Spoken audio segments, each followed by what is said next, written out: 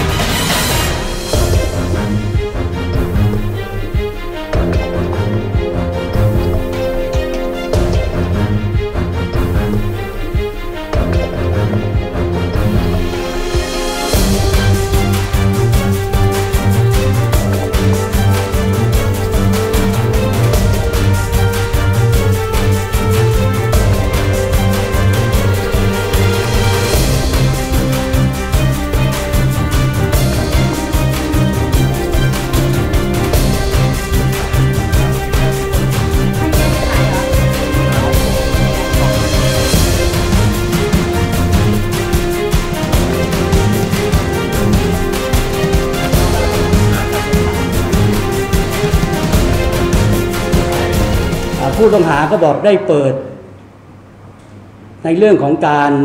ระดมทุนตั้งแต่ปี 2560 นะครับ ปีกว่าๆประมัน2ปีนะก็มีชักชวนคนนั้นคนนี้มาร่วมลงทุน ผู้ต้องหาเนี่ยจะใช้วิธีการในเรื่องของหลอกให้เหยื่อตายใจอย่างที่เปิดเป็นร้านขายทองนะครับ ซึ่งผู้ต้องหาทั้งสองคนนะครับ ยังได้บอกว่า เขาได้ซื้อทองพวกนี้เขาได้ซื้อทองปลอมมาจากจังหวัดขอนแก่น แล้วก็มาตั้งเป็นร้านทองให้มีความน่าเชื่อถือเกิดขึ้นนะครับ แล้วก็คนเห็นคนอะไรก็มามาร่วมลงทุน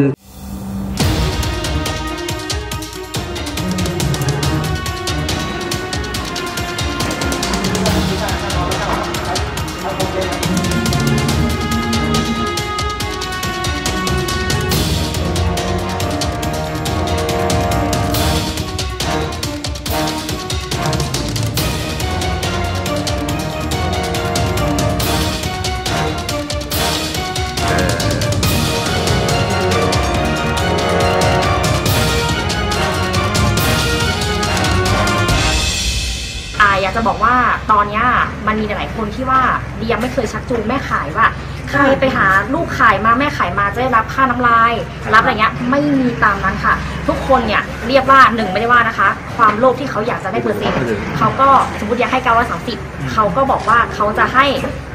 อ่า500เพื่อกินเอง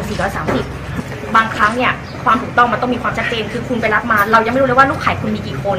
ส่วนของตัวแม่ขาย คุณเป็นแม่ขาย คุณต้องดูแลลูกขายคุณด้วย ไม่ใช่คุณจะโยนที่เราแล้วเรามั่นใจยังไงว่าคุณแม่ขายคุณให้เราเต็มที่ คุณอาจจะหมุนก็ได้